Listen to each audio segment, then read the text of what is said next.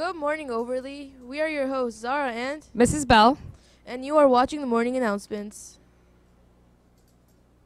Overlea is collecting canned foods for the homeless.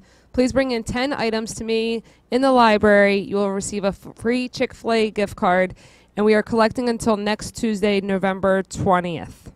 Runners, on Thanksgiving morning, there will be the first Overlea Turkey Trot. It's a two mile race around the school with a $5 entry fee.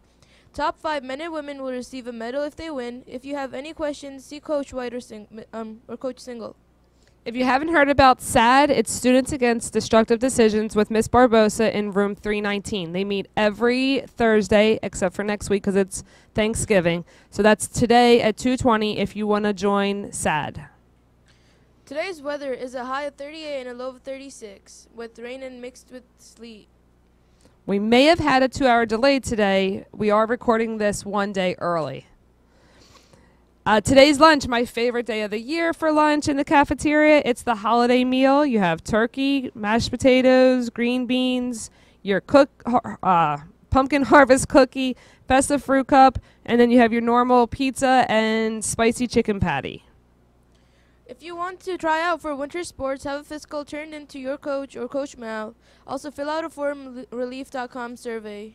Speaking of winter sports, if you're interested in winter cheerleading, you need to see Miss Hart for an information sheet. The tryouts start today, Thursday. Indoor track tryouts are today. Also, if you don't miss out if you're interested. Today is the last day for senior portrait makeups in the library. All teachers have a schedule, so ask your teacher if you've missed it or if you need to find out what time you're taking your picture. Seniors, the last day to purchase or make a down payment towards your dues package is November 19th. That is Monday.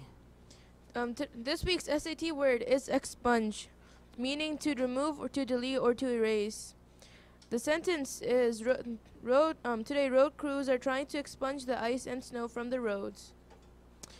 American Education Shadow Week Day today. Your teachers may have a student following them around all day today, so say hi to them. That's it for today, Overlea. Make sure you follow us on Twitter at OverleaHS for school announcements, important events, and updates. Have a great Thursday. Bye.